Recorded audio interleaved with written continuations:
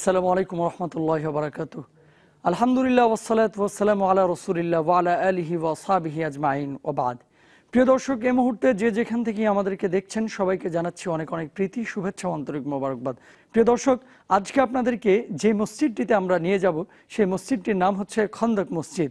রাসুল উল্লাহ সাল্লাহ আলহিহাসাল্লাম খন্দকের সময় যে পরীক্ষা খনন করেছিলেন, সেই এলাকাতেই এই মসজিদটি অবস্থিত। প্রিয় দর্শক, আজকে আপনাদেরকে দেখাতে নিয়ে যাব খন্দক মসজিদ এবং এই খন্দক মসজিদ সংশ্লিষ্ট কিছু কথাও আপনাদের সামনে তুলে ধরব।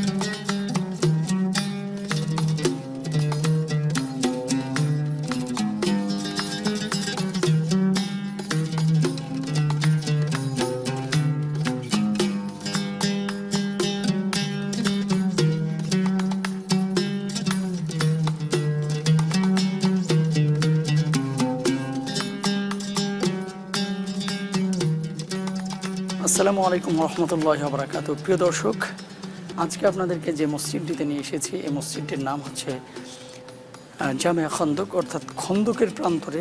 এখানেই খন্দকের যুদ্ধ মানে খন্দকের পরীক্ষা খনন করা হয়েছিল। তার পাশে এই মসজিদটি নির্মিত। আপনাদেরকে চলুন মসজিদটি দেখিয়ে নিয়ে আসি।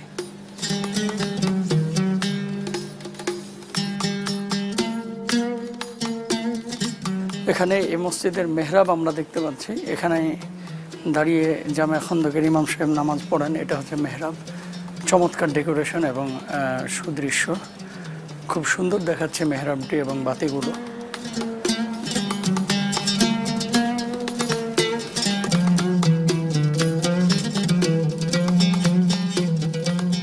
ইমাম বুখারি ও ইমাম মুসলিম সুলাইমান সারদ রাদিয়াল্লাহু তালানহু থেকে রেওয়ায়ত করেন খন্দক যুদ্ধে মুশরিক বাহিনী মোকাবেলা করে প্রত্যাবর্তন করলে রাসূলুল্লাহ সাল্লাহ আলী হাসাল্লাম বললেন, এখন আমরা তাদের সাথে জেহাদ করব। ওরা আমাদের উপরে চড়াও হতে পারবে না, বরং আমরাই তাদের দিকে এগিয়ে যাব। খন্দক যুদ্ধে পরীক্ষা খননকালে একটি বৃহৎ পাথর নির্গিত নির্গত হয়েছিল, যে ঘটনাটি আমরা অনেকেই জানি। এই খন্দক যুদ্ধে আত্মত্যাগের মহিমায় উজ্জ্বল এবং খন্দক যুদ্ধের কঠিন অবরোধ প্রায় এক মাস স্থায়ী ছিল। সাহাবাইকরম রাদিয়াল্লাহ তালা আনহুম আজমাইন। তিন দিনের দীর্ঘ অনাহারে অতিষ্ঠ হয়ে উঠলেন। একদিন তারা ক্ষুধার যন্ত্রণায় ছটপট করতে করতে এসে রাসুল্লাহ সাল্লাহ আলহিহাস্লামের সামনে তাদের পেট খুলে দেখালেন। পেটে পাথর বাঁধা ছিল। কিন্তু রাসুল্লাহ সাল্লাহ আলী আসাল্লাম যখন নিজের পেট খুললেন, তখন দেখা গেল তার পেটেও দুখণ্ড পাথর বাঁধা। প্রাণাধিক প্রিয় মহানবীর সাল্লাহ আলী আসাল্লাম এ অবস্থা দেখে সাহাবাইকরাম রাজি আল্লাহ তালানহর মুহূর্তে ভুলে গেলেন তাদের। ক্ষুধার যন্ত্রণা এবং দৃঢ়তার সাথে যুদ্ধের জন্য নিজেদের প্রস্তুত করলেন হজরত জুবাই রাজি আল্লাহ তালানহু সাহাদ ইবনে ওবাদা রাজি আল্লাহ তালানহু সাদ ইবনে মোয়াজ রাদি আল্লাহ তালানহুর সহ অন্যান্যের এই দৃঢ়তা দেখে রাসুল্লাহ সাল্লাহ দারুণভাবে আশ্বস্ত হলেন। সেই সাথে ঘোষিত হলো, মহান আল্লাহ রবুল্লা আলমিনের সন্তুষ্টি এবং সাহায্যের সুসংবাদ বলা হলো, হে মুমিনগণ, আল্লাহর অনুগ্রহের কথা স্মরণ করো। যখন তোমাদের ওপর কাফের বাহিনী আক্রমণ করল, তখন আমি তাদের ওপর ঘূর্ণিঝড় অবতীর্ণ করলাম এবং এমন এক ধরনের সৈন্য পাঠালাম যাদের তোমরা দেখতে পাচ্ছিলে না। এই সেই আহজাবের ময়দান যেখানে পরীক্ষা খনন কার্যে রাসুল্লাহ সাল্লাহ আলী আসাল্লাম মাটি খনন ও পাথর সরানোর কাজে সশরীরে অংশগ্রহণ করেছিলেন। যদিও ময়দানটিতে এখন মসজিদ নির্মিত হয়েছে সেদিন এই খন্দকের ময়দানে আল্লাহর হাবিব সাল্লাহ আলী আসাল্লাম প্রিয় সাহাবাইক রামরাজি আল্লাহ তালা আনহম আজমাইন, সংখ্যায় স্বল্পতা সত্ত্বেও ইমানের বলে বলিয়ন হয়ে যে বিশাল আরব বাহিনীর উপর ঝাঁপিয়ে পড়েছিলেন এবং ছিন্ন ভিন্ন করে দিয়েছিলেন কাফেরদের সব ষড়যন্ত্র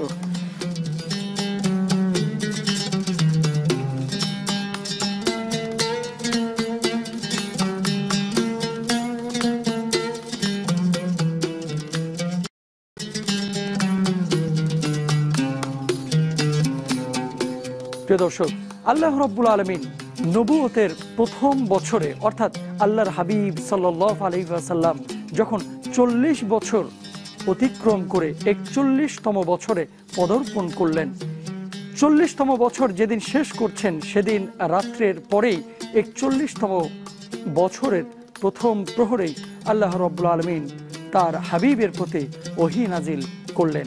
আল্লাহ তালা পবিত্র কোরআনের সুরায় আলাকের পাঁচটি আয়াত আল্লাহ তালা জাবালে নূরের ওপরে গারে হেরায় হেরা পর্বতে রাসুল্লাহ সাল্লাহ আলহিহাসাল্লাম যখন ধ্যানমগ্ন ছিলেন, তখন আল্লাহ তালা এই আয়াতে কারিমাগুলি নাজিল করলেন। আমরা একটু শুনি, আল্লাহ রব্বুল আলমিন কোন আয়াতগুলো নাজিল করেছেন? আল্লাহ রব্বুল আলমিন আল্লাহর হাবিব সাল্লাহ আলহিহাসাল্লামকে হজরত জিব্রাইল আলহি সালাতামের মাধ্যমে এই বার্তাগুলো, এই বাণীগুলো পৌঁছে দিলেন এবং প্রথম যে বাণীটি ছিল হেনবি আপনি পড়ুন আপনি পড়ুন আল্লাহর হাবিব সাল্লাহ আলহিহাসাল্লাম প্রথমে ভীত সন্ত্রস্ত হয়ে গেলেন এবং বললেন, আমি তো পড়তে জানি না, আমি তো পড়তে জানি না। নবতের প্রথম বছরে আল্লাহ তালা এই কথাগুলি রাসুল্লাহ সাল্লাহ আলহিহাসাল্লামকে দিয়ে পাঠালেন সুরায় আলাকের প্রথম পাঁচ আয়াত। এরপরে কিছুদিন অতিক্রম করার পরে আল্লাহর হাবিবের ওপরে আল্লাহ তালা আবারও চারটি আয়াত দিয়ে হজরত জিব্রাইল আলহি সালাতামকে পাঠালেন। সেই চারটি আয়াত হচ্ছে সুরায় মুদাসিরের প্রথম চার আয়াত, যেখানে আল্লাহ তালা বলছেন, আল্লাহর হাবিব সাল্লাহ আলী আসাল্লামকে আল্লাহ তালা নবুয়তের এই প্রথম বছরে দ্বিতীয় পর্যায়ে সুরায় মুদাসিরের এই চারটি আয়াত আল্লাহ তালা দিয়ে পাঠালেন। আল্লাহর হাবিব সাল্লাহ আলী আসাল্লাম এই আয়াতে কারিমাগুলোর বার্তা, এই আয়াতে কারিমাগুলোর আহ্বান সাহাবির রিদওয়ানুল্লাহ আনহুম আজমাইনদের কাছে তুলে ধরলেন। প্রথমেই সঈদুনা হজরত খাদিজাতুল কুবরা রাদি আল্লাহ তালানহাকে এসে বললেন আমি প্রচণ্ডভাবে আঘাত পেয়েছি, আমি অসুস্থ হয়ে পড়েছি। হে খাদিজা, তুমি আমাকে রক্ষা করো, তুমি আমাকে শোয়ার জায়গা দাও। এরপরে খালিজাতুল কুবরা রাদি আল্লাহ তালানহা রাসুল্লাহ সাল্লাহ আলাইসাল্লামের এই কথাগুলি শুনে যাবতীয় ঘটনা শোনার পরে বললেন যে আল্লাহ তালা আপনাকে এই পৃথিবীতে রহমত করে রহমত বানিয়ে পাঠিয়েছেন। যে আল্লাহ আপনাকে মনোনীত করেছেন তার বিধানের জন্য, সে আল্লাহ তালা কখনোই আপনার অমঙ্গল চাইবেন না। এবং দ্বিতীয় পর্যায়ে যে আয়াতে কারিমাগুলো নাজিল হয়েছে, সেখানে আল্লাহ রব্লা আলমিন বলছেন, রাত্রিবেলায় যারা ঘুমিয়ে থাকি, আল্লাহ তালা তাদেরকে বলছেন যে, তোমরা উঠো এবং তোমরা আল্লাহ তালার কাছে ক্ষমা প্রার্থনা করো। তোমরা পোশাক আশাকের ক্ষেত্রে পবিত্রতা অর্জন করো। আল্লাহ রব্লা আলমিনের তাকবীর ঘোষণা করো। যে তাকবীর শুনে আল্লাহ রব্লা আলমিন খুশি হন, যে তাকবীর শুনে আল্লাহ রব্লা আলমিন বান্দাদেরকে ক্ষমা করে থাকেন। রাসুল্লাহ সাল্লাহ আলহিহাসাল্লাম নবুতের প্রথম বছরে ইসলামকে বিশ্বব্যাপী মক্কায়, মদিনায় সহ সারা পৃথিবীর বুকে ছড়িয়ে দেওয়ার জন্য নতুন করে উদ্দীপনা গ্রহণ করলেন, নতুন করে উদ্যোগ গ্রহণ করলেন, নতুন করে উদ্দীপনা পেয়ে গেলেন। যখনই ওহি আসা শুরু হয়ে গেল, তখন আল্লাহর হাবিব সাল্লাহ আলহিহাসাল্লাম নতুন করে দিনের কাজ শুরু করে দিলেন সাহাবির রিদওয়ানুল্লাহ আনহুম আজমাইনদের মধ্যে। প্রিয় দর্শক, আল্লাহর হাবিব সাল্লাহ আলহিহাসাল্লামের গোটা জীবনটি যদি খেয়াল করি, তাহলে দেখব যে পুরো জীবনটাই আল্লাহর হাবিব সাল্লাহ আলহিহাসাল্লামের আদর্শ সম্বলিত জীবন এবং এই আদর্শের ব্যাপারে আল্লাহ রব্লা আলমিন পবিত্র কোরআনের মধ্যে স্বীকৃতিও দিয়েছেন যে আল্লাহর হাবিবের আদর্শই হচ্ছে সর্বোত্তম আদর্শ জীবনে সুখ, শান্তি, সমৃদ্ধির জন্য তার আদর্শকে নিজেদের জীবনে বাস্তবায়িত করতে হবে, গ্রহণ করতে হবে। যেমন আল্লাহ তালা পবিত্র কোরআনের অন্য আর একটি জায়গায় বলছেন হাসানা যে আদর্শের মানদণ্ড, সর্বোত্তম আদর্শ, উত্তম চরিত্র একমাত্র মহানবী হজরত মোহাম্মদ সাল্লাহ আলহিহাসাল্লামের জীবন আদর্শের মধ্যে রয়েছে। সুতরাং তোমরা তার জীবন আদর্শকে অনুসরণ করো। প্রিয় দর্শক, নবুয়তের প্রথম বছরে আমরা আল্লাহর হাবিব সাল্লাহ আলহিহাসাল্লামের যে সমস্ত ঘটনাগুলো ঘটেছিল তার থেকে কিছুটা তুলে ধরার চেষ্টা করলাম।